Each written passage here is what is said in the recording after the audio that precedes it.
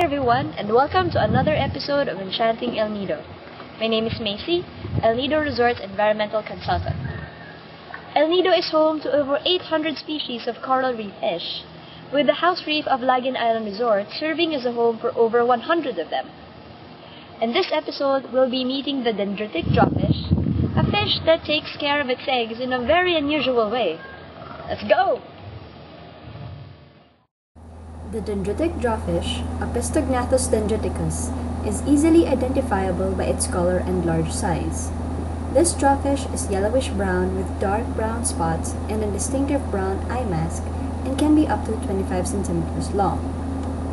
Most jawfishes are hard to spot, but the dendritic jawfish is an exception and is relatively easy to find, even though only its head is usually visible outside its rock-lined burrow. It makes its burrow by scooping sand and shifting larger rocks with its mouth and powerful jaws. The mouth of a male dendritic jawfish also has other uses. Remember that unusual way of protecting its eggs that we talked about earlier? As it turns out, the male dendritic jawfish takes care of his eggs by incubating them inside his mouth. Talk about having a big mouth. The dendritic jawfish is just one of the many species of fish that you can find here in El Nido.